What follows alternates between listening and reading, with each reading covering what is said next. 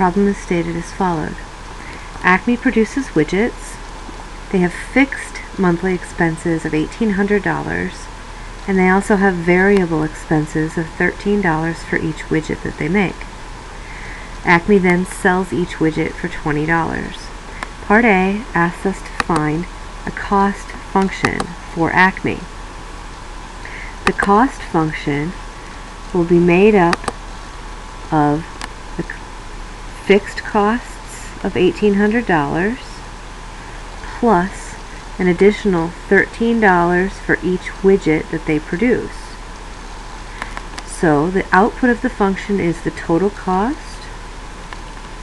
The input of the function is the number of widgets that they make. The cost will depend on the number of widgets that they make. So in this case, total cost C is $1,800 to start plus $13 for each widget they make. So we would take 13 times the number of widgets that they make. There's our cost function. Revenue is defined as price times the number of widgets sold. So price times number of widgets. In part A, we define W as the number of widgets. So our revenue will be price times W. If I define R as the revenue earned in dollars,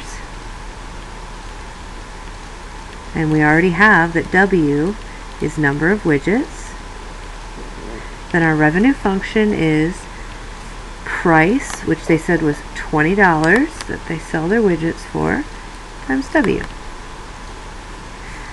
price is 20 times the number of widgets they sell is W. Profit.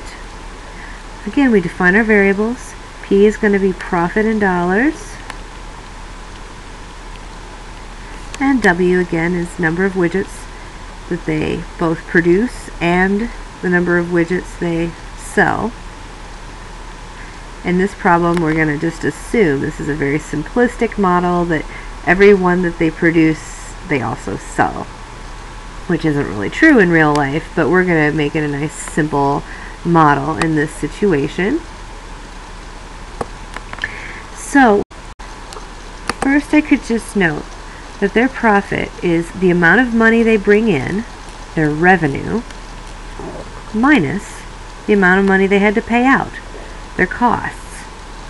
So, P, their profit, is 20W, which was the revenue, minus 1800 plus 13W, which was the cost function.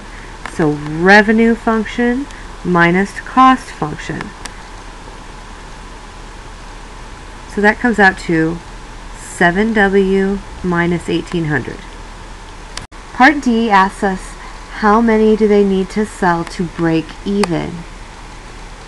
Breaking even means the profit is zero. Another way to think about breaking even, breaking even means the amount of money they bring in equals the amount of money that they spent. So that's where revenue equals cost. So to figure this out, we would have the profit equation and we're saying breaking even occurs when profit is zero. So I replace P with zero. And then I solve for W to find out the number of widgets they need to sell to break even.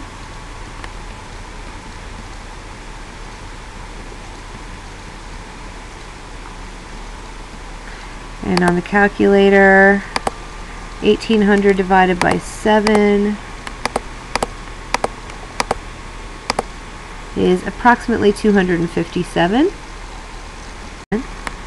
So we would conclude by saying they break even by selling